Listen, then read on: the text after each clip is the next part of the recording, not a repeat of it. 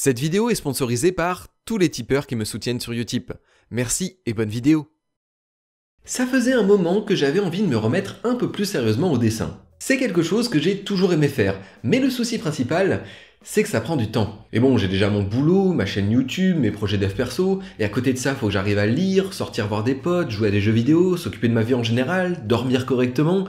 Bref, caser du dessin en plus de tout ça, c'est compliqué. J'ai clairement mis cet aspect de ma vie de côté pendant plusieurs années, et ce n'est qu'avec les confinements que j'ai ressorti le papier crayon, me décidant à enfin prendre du temps pour faire quelque chose dont je n'étais pas encore totalement saoulé. Mais je me suis très vite heurté à un problème de taille. Je n'aime pas du tout que mes dessins soient juste corrects. Il faut qu'ils soient parfaits à mes yeux. Et comme je suis pas très bon, manque d'expérience oblige, et que je m'inspire directement de gens que je considère être des génies du dessin, eh ben je suis très vite frustré. Alors, j'arrive à faire des trucs plutôt sympas, hein, mais ça prend un temps fou, je galère à faire des trucs simples, et c'est assez loin de ce que j'avais en tête. Après, je me suis aussi rendu compte que le dessin dit traditionnel, c'est-à-dire avec un papier et un crayon quoi, bah ça me convenait pas trop. Notamment parce que recommencer encore et encore les mêmes traits abîme le papier, la couleur, j'arrivais jamais à avoir un truc lisse et propre, et que je me retrouvais régulièrement avec des problèmes de positionnement impossibles à rattraper. Bref, rien de nouveau pour un habitué du dessin, évidemment, hein, mais quand on est débutant comme moi, ces contraintes techniques et le côté imparfait car analogique du dessin traditionnel m'ont fait sérieusement réfléchir à passer au dessin entièrement numérique. J'ai tenté et vite abandonné le dessin à la souris, clairement pas mon truc non plus,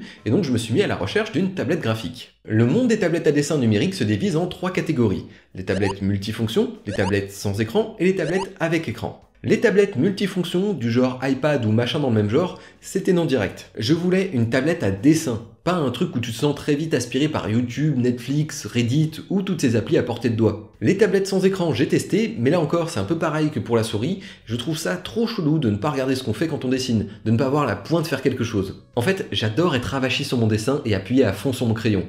Oui, je sais, c'est chelou, mais c'est comme ça. Me restait donc les tablettes avec écran, et c'est donc là-dedans que j'ai regardé pour trouver mon bonheur. D'expérience, je sais qu'il y a quelques années, ces tablettes étaient encore très chères. Aujourd'hui, ça va un peu mieux. Bon, la gamme de prix est énorme, mais disons qu'on peut quand même trouver des tablettes avec écran pour 200 balles environ. Ce qui est quand même largement mieux. Sauf que moi, je voulais pas de l'entrée de gamme à peine HD qui me lâche au bout de deux mois. Je voulais quelque chose qui dure et qui me permette de faire du vrai dessin numérique correctement. Bon, pas un niveau pro non plus, hein, mais quelque chose qui permette de s'en rapprocher éventuellement. En bref, s'il ne me fallait pas le top du top, je voulais quand même un bon outil. En même temps, même si personnellement j'avais un budget conséquent, le top du top aujourd'hui c'est quand même 4000 euros. Et j'ai pas 4000 euros à lâcher là-dedans. Dans la même veine, j'aurais bien aimé avoir une dalle 4K d'ailleurs, mais pareil, trop cher, donc je me suis rabattu sur une dalle Full HD. Et donc après avoir longtemps hésité, je me suis finalement arrêté sur la Wacom Cintiq 22. Pourquoi elle? Eh bien déjà parce qu'elle était grande, hein, une grosse dalle Full HD de 21 pouces et demi, elle était bien notée, il y avait un stylet passif, un chevalet inclus, des périodes d'essai de certains logiciels de dessin numérique, et surtout elle était dans mon budget. De base elle est vendue à 1000 euros neuve chez la plupart des revendeurs, mais j'ai réussi à m'en tirer pour 830. Ouais, on est d'accord, c'est pas rien. J'ai mangé des pâtes au beurre pendant un moment pour budgéter ça. Mais ça se fait. Et donc, après quelques mois de test, cette tablette vaut-elle son pesant de cacahuètes Clairement oui. Déjà, ce qu'il faut bien comprendre, c'est que c'est avant tout un gros écran tactile. Et quand je dis gros, c'est gros. hein. La dalle a beau être de presque 22 pouces, il y a un bon 3 cm de marge de chaque côté qui rend le truc encore plus gros. Au niveau connectique, c'est assez simple. Une prise d'alimentation, une prise HDMI et une prise USB 3.0 bus de données. Ouais, trois câbles en plus, ça prend de la place. Je pensais avoir investi dans un bureau assez grand, mais entre mes trois écrans et la tablette qui est grosso modo un écran 25 pouces, ben j'ai plus trop de place sur mon bureau quand je dessine. Attention donc pour ceux avec des petits bureaux, c'est pas nomade, ça se met pas sur les genoux vu son poids, plus de 6 kg, et ça prend de la place. Vous l'aurez aussi sans doute compris, ce n'est pas un ordinateur, c'est un gros écran avec un pilote pour gérer le stylet passif fourni avec, mais en soi ça fonctionne comme du multiscreen. Il vous faut donc un PC suffisamment puissant pour afficher plusieurs écrans et configurer correctement le truc. Sur Windows 10, j'ai eu zéro problème. Il faut installer quelques drivers, mais tout est intuitif et facile. C'est juste une suite de wizard classique et redémarrage. Rien de bien méchant. Et au final, j'ai mis la tablette comme étant l'écran de la base du T formé par mon bureau. D'ailleurs, c'est assez rigolo, sur Windows, le stylet c'est le pointeur de la souris, donc vous pouvez manipuler le PC avec le stylet et passer sur la souris pour sortir sur les autres écrans. Un peu déroutant au début, mais on s'y fait vite. J'ai cependant remarqué trois légers problèmes. Le premier, c'est l'effet de parallaxe qu'il y a entre le pointeur du stylet et le pointeur Windows. C'est un peu difficile à décrire et à montrer, mais en gros, quand vous regardez précisément, l'endroit où vous appuyez ne correspond pas exactement à l'endroit où est affiché le pointeur. Il y a un léger décalage de quelques millimètres. Alors, cela vient en partie d'un problème de calibrage de l'écran, mais ça, ça peut se régler. Mais c'est avant tout parce que la dalle de verre a une certaine épaisseur, près d'un demi-centimètre en vrai. Donc si vous regardez l'écran légèrement en biais, on voit l'épaisseur, et donc un décalage entre l'appui du stylet et le pointeur logiciel. Rien de grave en réalité, j'ai rapidement pris en compte le décalage, mais ça fait bizarre. Le second point est plus problématique, c'est l'étalonnage de l'écran. Sur l'immense majorité des écrans, vous pouvez manipuler le rendu des couleurs via un petit bouton qui ouvre un menu, en plus de l'étalonnage logiciel type Nvidia de votre PC. Sauf que sur cette tablette, il y a uniquement un bouton on-off, pas d'étalonneur intégré. Donc pour bidouiller les couleurs, c'est directement avec le panneau Nvidia tout foireux.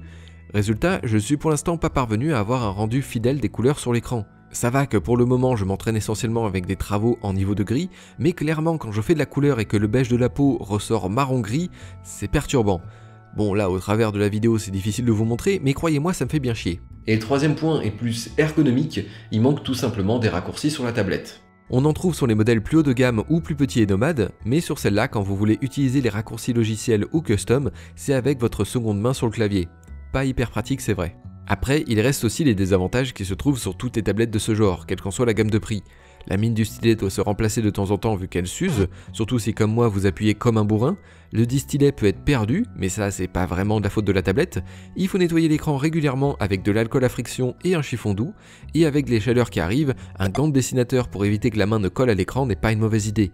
Certes, la sueur ne fait plus gondoler les feuilles, mais ne plus pouvoir reposer sa main sur l'écran est désagréable. Mais à part ces trois points-là, au niveau technique, c'est un bon produit. Et donc, en termes de qualité de dessin, est-ce que cet investissement était à la hauteur de mes espérances? Eh ben oui Oh putain oui alors, je l'ai principalement testé sur le logiciel Clip Studio Paint, 180 euros à l'achat définitif, mais 3 mois de test sont offerts par Wacom avec la tablette. Et ça tombe bien, parce que c'était le logiciel que je voulais utiliser à l'origine. Et franchement, c'est le pied. Le logiciel est très intuitif pour peu que vous ayez déjà utilisé un peu ce genre de soft de dessin à calque. Il y a des centaines d'options, mais la base est super simple à utiliser. Par défaut, on trouve une bonne quarantaine de stylos différents et un store permet d'en acheter auprès d'autres créateurs. Mais ce que vous avez directement dans le logiciel est largement suffisant. Je vais vous mettre à l'écran dans l'ordre de création mes différents dessins que j'ai fait avec la tablette, pour que vous voyez un petit peu la progression que j'ai eue. Je précise bien évidemment qu'étant encore en train de m'entraîner, la plupart, voire quasiment toutes, sont des recopies d'images existantes. Pas du décalcage, attention, mais bien des recopies. C'est-à-dire que j'ai l'image devant moi et j'essaie de la reproduire sans décalquer par-dessus. Donc au début j'ai fait joujou avec un simple stylo feutre et des trames, et rien que ça, ça rend vraiment, vraiment bien. Ensuite j'ai monté un peu en complexité et j'ai ajouté de la couleur. Puis à chaque fois j'ai pris en compte mes erreurs pour améliorer le dessin précédent. Par exemple, l'ancrage au début je faisais ça au feutre, sans anti-crénelage. Mauvaise idée, c'est quand même plus beau avec un petit effet flou. Je me suis aussi un peu tâté à la plume G. Sceptique au début, le dessin final est bien plus classe que ce que je pensais en démarrant, surtout pour seulement deux petites heures. Au final, mes dernières réalisations sont beaucoup plus belles qu'au début, alors que j'en ai pas fait non plus 300 heures. Faut dire que le dessin numérique c'est quand même bardé de super avantages. Pouvoir zoomer, dézoomer, les calques, pouvoir annuler plein de trucs avec un simple CTRL Z, sélectionner des morceaux du dessin, les redimensionner, les déplacer, c'est tellement plus agréable pour moi le numérique par rapport au traditionnel. Alors certes, on perd un peu en sensation avec le stylo qui fait tout en un, mais moi j'avoue que je m'en fiche un peu. Je peux enfin dessiner avec une main qui transpire comme un porc passé 20 degrés, sans crainte de froisser la feuille. Je peux enfin appuyer comme un tordu sans transpercer le papier. Je peux enfin vraiment me tromper. Et c'est trop bien.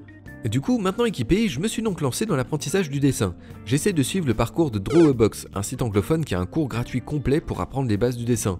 Je les avais déjà en partie, mais c'est une bonne idée de reprendre tout à zéro avec des vrais exercices répétables et prouvés, pas que des trucs d'autodidacte où il va forcément y avoir des ratés. Mais vu que c'est long et que j'allais pas juste noircir des pages et des pages d'exercices à la con, en parallèle je regarde et essaye de mettre en pratique les vidéos de Marc Brunet, un gars vraiment balèze sur YouTube. Et sinon, il m'arrive de prendre quelques soirées pour recopier des images, parce que c'est vraiment trop cool de faire des dessins qui ont de la gueule clairement, je vais continuer à faire du dessin numérique. J'ai des trucs que j'aimerais coucher sur papier, et d'une manière générale, ça faisait super longtemps que j'avais pas eu de loisir capable de me clouer sur ma chaise pendant 5 heures sans que je m'en rende compte. L'investissement était conséquent, mais à mon sens, ça valait le coup. Et c'est le principal. Bon, j'ai encore beaucoup de progrès à faire, hein, parce que mes dessins purement originaux, ils puent un peu la merde, on va pas se mentir, mais je sens que je m'améliore déjà, rien qu'avec le peu que j'ai fait avec la tablette. Comme quoi, avoir un bon outil, ça aide. Ça fait pas tout, mais ça aide. Voilà, c'est tout pour cette petite vidéo et j'espère que ça aura épargné pas mal de recherches à certains voulant se lancer dans le dessin numérique. Ouais, parce que de mon côté, j'ai bien galéré pour me décider. Surtout que ça se trouve pas facilement des tablettes pour tester et des fois on se demande qu'est-ce qui justifie des prix aussi abusés. Enfin bref, je m'éclate comme un petit fou à dessiner en numérique et je suis très très content d'avoir enfin sauté le pas. Et si vous aussi, oui, vous, là, derrière votre écran, vous avez envie de vous mettre ou de vous remettre à un hobby depuis toujours, un conseil, faites-le. Même si vous pensez que vous n'aurez pas le temps, même si vous pensez que c'est un peu trop cher pour vos thunes actuellement, vraiment, faites-le. Ne laissez pas le monde capitaliste vous broyer. Enfin voilà, on se retrouve dans quelques temps pour une prochaine vidéo, et d'ici là je vous dis salut à tous, portez-vous bien